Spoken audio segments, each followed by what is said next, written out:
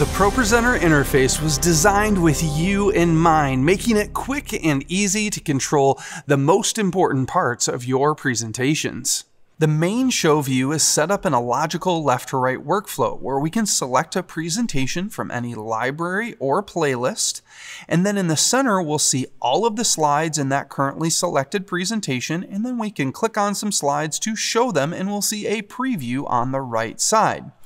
Now let's take a closer look at all of those features and the rest of the ProPresenter interface. Now the first thing I mentioned was our libraries in the left panel. A library is where all of your ProPresenter presentations are saved to and you can have multiple libraries to help better organize all of your presentations. Anytime you create or import a presentation, it will be saved to a library so you can easily reuse those presentations in the future. Now below your library are our playlists. Playlists contain all of the presentations that you need for a specific event. And typically you'd create a new playlist for every single event, or you could reuse a playlist if they have a similar layout and all you need to do is add and remove some presentations week to week. Now, if we want to add a presentation to a playlist, the best way to do that is using search. We could either click on search from the main toolbar, or we could hit Command F on a Mac or Control F on a PC to bring up our search window. Then we can search for a song presentation and we can either click and drag that to our playlist or we can arrow down to it and you'll get a preview of all of the slides that are in that presentation. And then we can hit Command Enter on a Mac or Control Enter on a PC and it will automatically add that presentation to our currently selected playlist. Now we can select that presentation and we can scroll and see all of the slides that are in that presentation.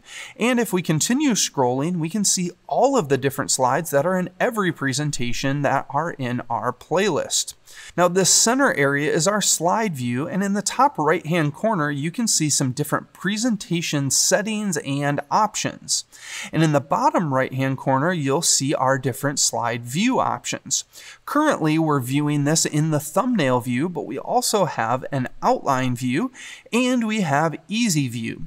Easy View makes it easier to see all of the text that's on your slides. The other way that you can access Easy View is from Thumbnail View, and you can just hit the tilde key on your keyboard and it will bring you right into Easy View. And when you release the tilde key, it'll bring you right back to Thumbnail View. Each of these view options has different settings that you can access by clicking on these three dots here, and you can see different settings for each of our views by clicking there. In the bottom left-hand corner, you'll see your transition options. So we can set our transition for our slides to cut, dissolve, or specialty advanced transitions like a wipe or any of the other options that you see in the list here. Now this transition is used for all slides in every presentation, so be careful when adjusting this because it will affect other presentations.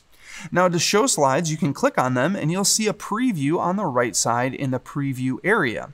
And since ProPresenter can send content to multiple screens, you have the ability to switch between previews of any screens you've configured using this dropdown below your preview area. So we could switch to our stage display and preview what our content looks like on that stage screen versus our main output. Now next to the preview area, you'll see your clearing buttons, and this allows you to clear out each of ProPresenter's different layers. The layers in ProPresenter work together to create your final output. So if we click on this slide with a media action attached to it, and then we click on another slide with some text on it, you'll see that we have two different layers that are currently being used, our media layer and our slide layer. And these are highlighted, letting us know that there's content currently on them and that we can clear them out. So I could clear out our media layer independent of our slide layer, or I could clear out both of the layers at the same time using the clear all button here. You can also set up custom clearing groups by right clicking on any of these clearing buttons to set up that custom clear group. Now below the preview area, you have your playback controls for media. So this is for any media that's playing back.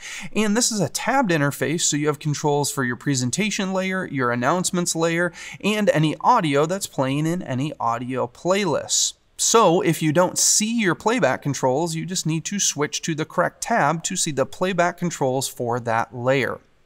Now below your playback controls, you have show controls. This gives you easy access to other helpful features in ProPresenter like audio playlists, stage controls, timers and clocks, messages, props, and macros. And if you want to learn more, we have tutorials about each one of these specific features.